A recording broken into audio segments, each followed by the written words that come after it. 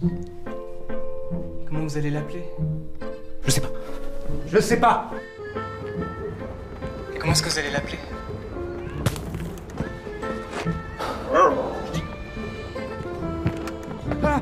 On m'appelle comment? Je sais pas. Stella. named after a star, crafted as a holiday gift for the city of Leuven in Belgium.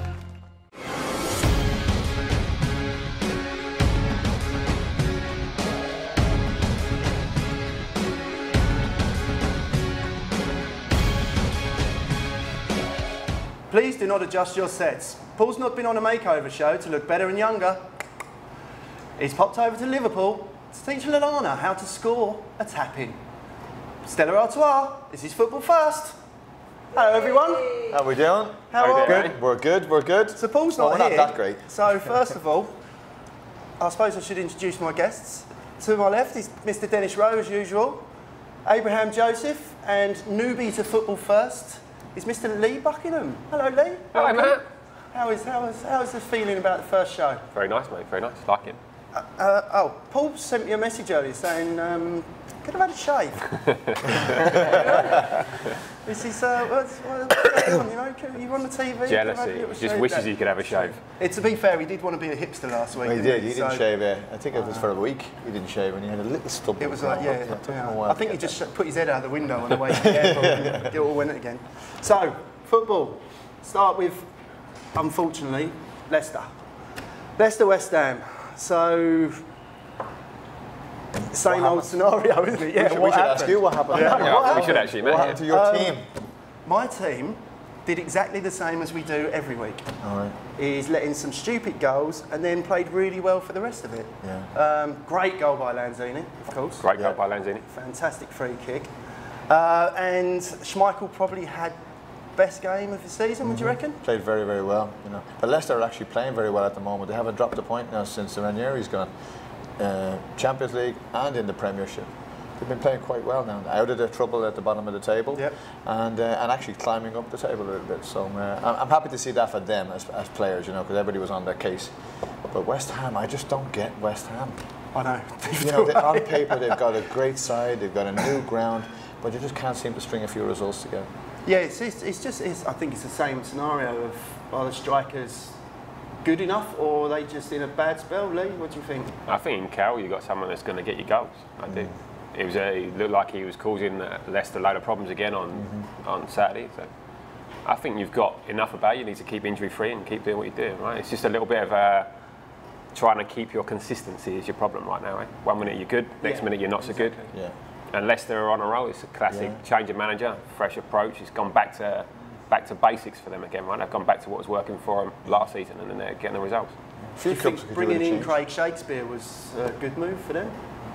We'll see. We'll see. It's classic assistant manager stepping up. See what happens. He hasn't had to make any real, real changes as such. He's just gone back to what they was doing well last season right now. So if he stays in the job next season, then you'll see what he's made of. Well, that's four in four wins for them now. Obviously, one of them being Champions League. What do you think next round, Atletico Madrid? They've probably got the hard, one of the hardest draws that they could possibly get because Atletico will make you work for your for your win. Um, but then, having said that, that's probably the right game for them because working hard was uh, was the way that they won the uh, Premier League last Yeah, season. true, so, true, true. so it's probably the game that suits them the best. Yeah, I think I think they've got their best their best chance of going through against such a team. Is, uh, is an away early, early goal gonna? Yeah. Are Yeah, Yeah, I, yeah, I think, they- I leg think they're away for the That's, first that's game. important. Yeah, too, hope for the second. Yeah. Do you leg. think an early goal? Oh Lord, an away goal would be. You saw what it did from in the last round. Uh, they went through because of the, the away goal. You know, um, Leicester are playing quite well now at the moment, and, and a few other teams could take a, a, a page out of their book. The effort that they made, they were at the bottom fighting relegation, and now they pulled their boots up and the straps up, and, and, and they're at it again. I'm delighted to see them playing well. I'm not. Well, you, you wouldn't. Do we have to play them? Does Arsenal have to play them? No, Arsenal can't beat anybody anyway, you know. Well, speaking of Arsenal, Oh God, I'm in black. I'm in mourning. so uh, I'd like to pass on that question, please. And I'm we, just, this um, is all from I me, mean- right?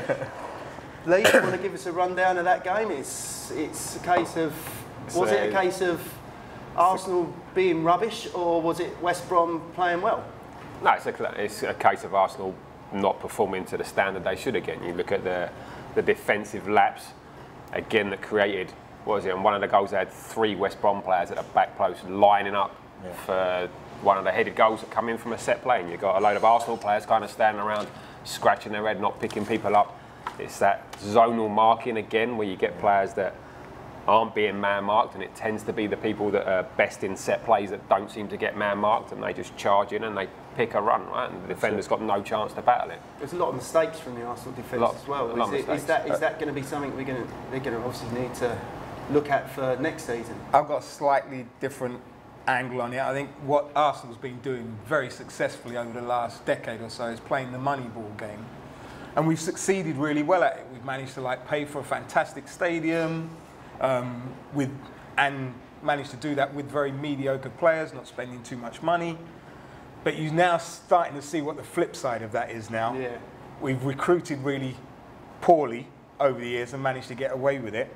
And one of the things that you really saw in that game against West Brom on Saturday was the physical side of the game. We just don't have players with a physical presence.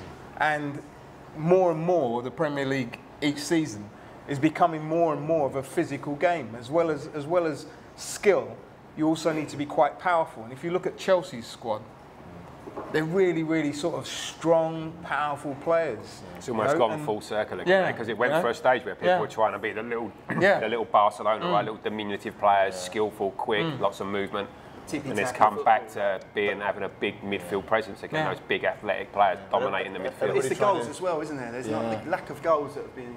But everybody's scored trying to so play this. Barcelona football, which only Barcelona can play. They've got the best players in the world doing that.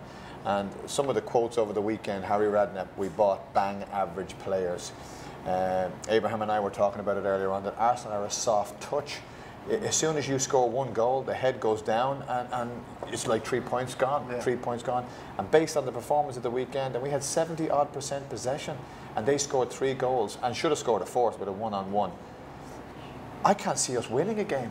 Well, I we had, can't had like see two Arsenal shots beating as a well, team. didn't we? Two Yeah. shots on You target know? or something out of that 78% possession, I think it was. You know, which I- clearly isn't good enough. No. No. There's no but point is having that- the ball is if you don't do nothing that, with it. uh, Is that going to be coming from, say, your midfield not creating those chances for your strikers to score, I, I or think it's the just whole team. Yeah, it's the it's just the whole attitude of the team, uh, jockeying back for when, when, when the other team is on attack, uh, not committing to tackles, not committing to play, not committing to make those runs, not supporting each other. And as we all say, as every Arsenal supporter will say, there is not one of them on that team with the guts to drag that team out of the fire and bring him and bring him forward. In the middle of a game when things are down, you need you need a, a, a pillar on the team. And we don't have that. No. We- You know, your No central lead- no- defender. no leaders. No, no leaders. You're, you, normally, traditionally, it's down the middle of the park, which is your central defender or your centre midfield. You don't hear a word out of Koscielny. Um, you don't hear a word out of uh, uh, Mustafi. And who in midfield is going to step up and go, right, guys, let's get our act together? It's just not there. They're a bang average team, and, and anybody who watches football will tell you if you took Sanchez out of that 11, they'd be lucky to be a mid table team. And I cannot see them winning. I can't see where they're going to get three points from. So where are we at? Obviously, last week you went Uh, I finger in, finger out, Oh, finger in, he- finger out about he- five times through the show. He's out now, and whether he comes, if he's out this year or next year, we just have to get used to the idea that he's done. And I think we should just take it on the chin now and say, "You're done. Thank you very much. Good night, and let's move on." And, and it's a rebuilding process. Tony Pulis said after the game that he'd had a chat with Arsene, and apparently he's going to sign another year's contract. Yeah, it wouldn't What surprise do you me. think? I think it's, for me, it's just that it's just um, It's it's, con- year, it- isn't it's consistent with the view that Wen- Wenger has towards the supporters of the of, of the club, and also the board as well. That how we feel um, is of no consequence to them. Yeah. They, the, the club charges the the, the, um, the most the most expensive uh, Tickets. ticket prices, but but you don't get any back. You don't get anything uh, back in return for that. There's no value, you know, for what for what you you know for what you pay for. So So obviously um, you've built this club up to be one Yeah, of the richest in the world at the moment now, in terms of profit making and stuff like that. Yeah, but it's, But it's it's not, not- it's but not a business. buying, is it's, it? it's It's a not buying. football club, Yeah. and the reason it's profitable is because the regular Joe Soap is spending his money to go and watch them. The regular Joe Soap is buying the scarves and buying the jerseys. If that all stops, the club's not worth anything. Where are they going to get the money? Who's going to pay the wages? Yeah. If the 60,000 people don't go to watch the games, where are they going to get their money from? I mean, that's the side of the thing that, peop that people don't normally see. Like, if you go to Arsenal on any given day, the shop is always busy. Oh. You, you think you, you just think, like, where do these people come from? You know, you walk inside the shop and you think that you were walking in like a regular Yeah. store Uh, on Christmas you know? week, It's yeah, just it's just always jammed. busy. It's, it, it, you know, they've got uh, staff staff inside there, uh, full-time staff to serve Yeah. customers. It's it's a it's a regular business, but it's like the football really is getting Not in like the the. West Ham shop in No, no, no. Yeah, the, fo- the, fo- the Last football's time getting. I went in there, I was the only one in Doris, Doris is behind the counter. No, Arsenal, Arsenal it just seems to it just seems to be a business, and the foot and the football really is getting in the way now. So what do you think of the fans that are putting up these, these planes that are flying across with these I banners? don't, I don't agree with it. Arsenal I, I- Arsenal I- or what? No, I don't agree with it because I don't think it helps. I don't, I don't think it helps for us to be openly saying that we want Wenger out. I think Arsene Wenger should be by now coming to the conclusion himself We that should- I can't take the club itself any further in terms of like what's going on in the football team, and he needs to kind of like acknowledge that, and we should be making plans for succession.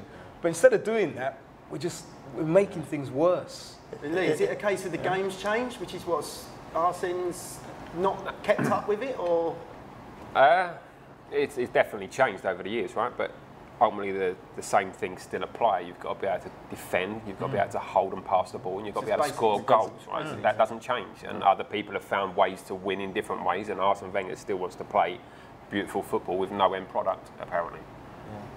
If Hennessy didn't like me working here and she was driving a flying a plane around there, we, we want Dennis out, I want Dennis out, I'd get the message. And I'd, I'd be like, I, I, I gotta leave. She, she doesn't like me anymore, you know. But there's 60,000 people Yeah. tr- clamoring to get into that same plane, to fly that plane and say, mm. you've gotta go.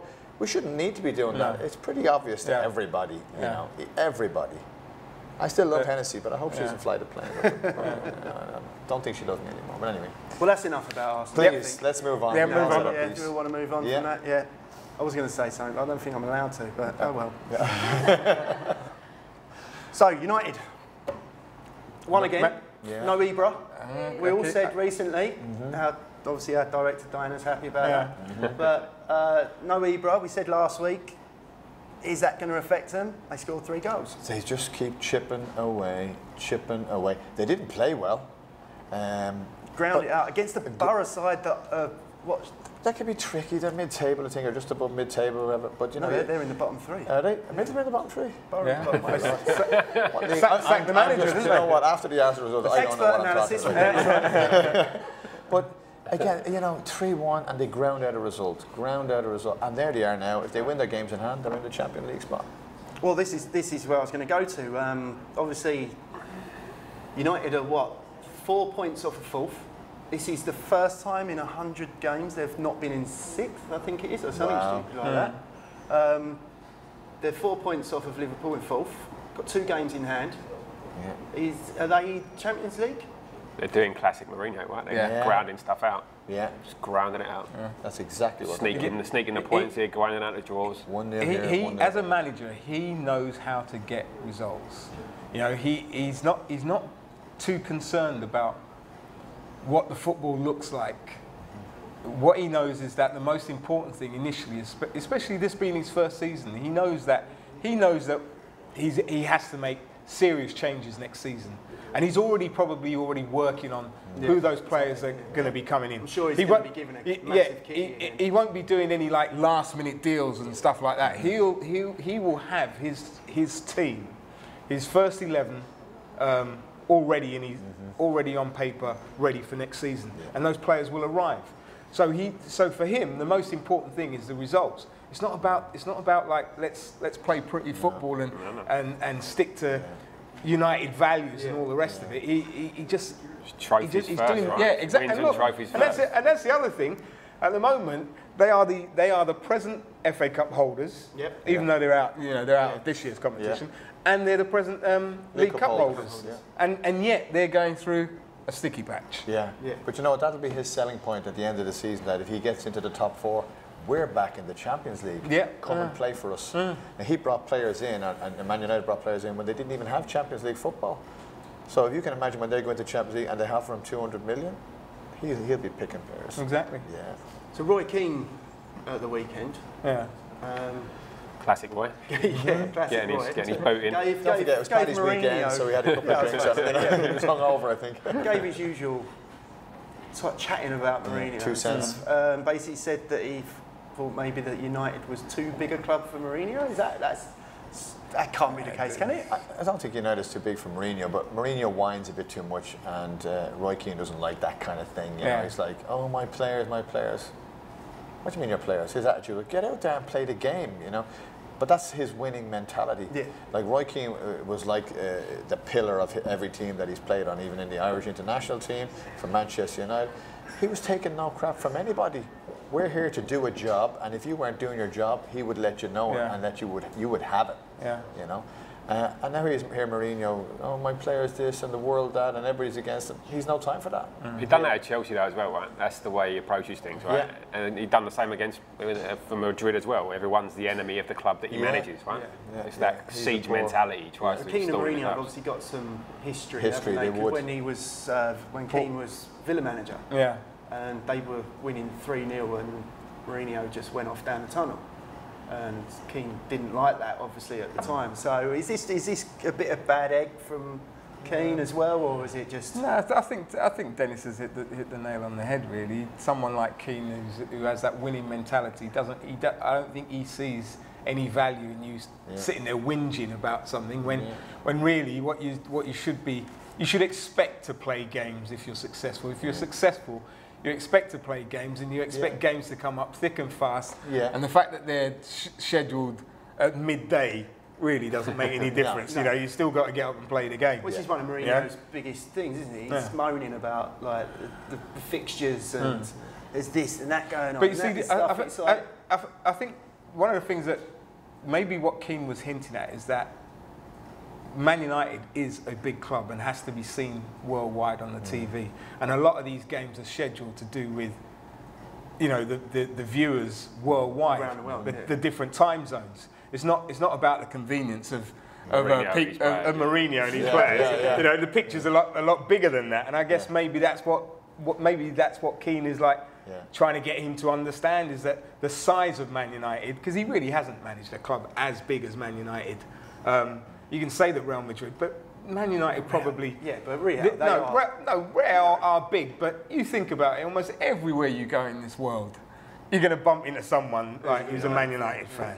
Even in Yeah? they're like mice. Yeah, they are. yeah. They're, ev- they're everywhere. They're everywhere. Speaking of big games, obviously the biggest game of the weekend was City Liverpool. Um, lots of lots of stuff going on there. Lee, we, we, we watched some of this, so it was. Uh, It's a good game. It's a good game. Lots of chances, lots of opportunities, lots missed. Some contentious decisions.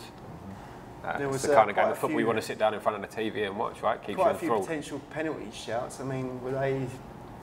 I think they got them right for the most part, to be fair. There's, one or two, there's always those differences of opinion, right? And no one's ever going to agree, but the referee has to make a shout, and it's what he's paid to do. So. Well, obviously, Paul's gone back to Liverpool to sort this out.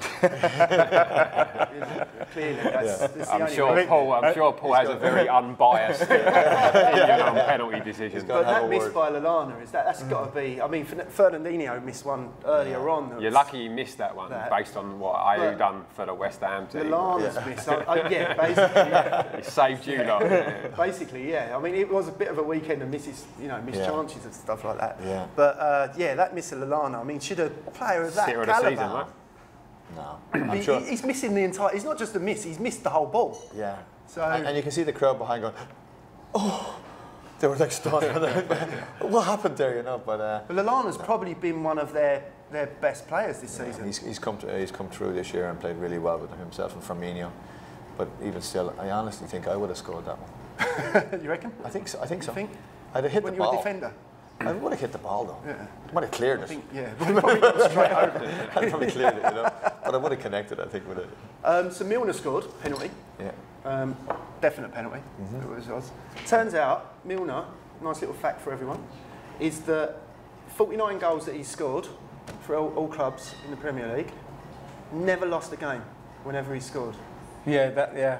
Uh, Wow. that's- yeah, Which that's is true. quite a uh, quite an impressive. I mean, it's only 49 goals in I don't know how many games. It's probably You're over, so over much 300 better. more. You're so much better than Paul. Stop You it. actually know things. I know. I tell you what I find really interesting though with Man City is that um, Aguero's just not firing on all cylinders. is Although he? he scored.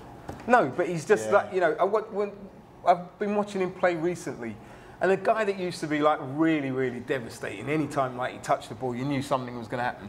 That just that just doesn't. He just doesn't seem to be there anymore. Is that not Pep trying to get more out of him in a different dynamic? I think There's all this I- talk about making well- him work and well, track back and press differently and all that sort of stuff, right? he's, he's saying that, but at the same time, I, I just can't see him being there next season.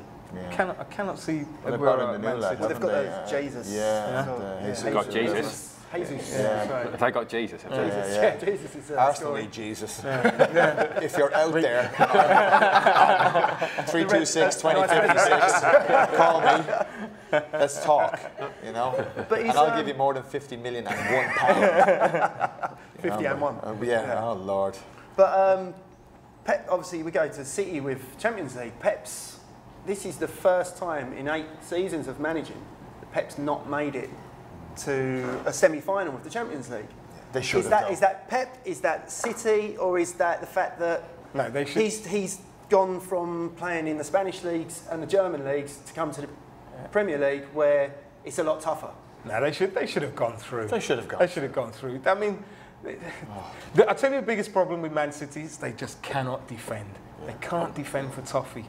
You know, you just, The missing Kompany, Yeah, yeah. the- yeah, yeah. You know, Oh, yeah. once he's not playing, and I don't actually think it's helping them.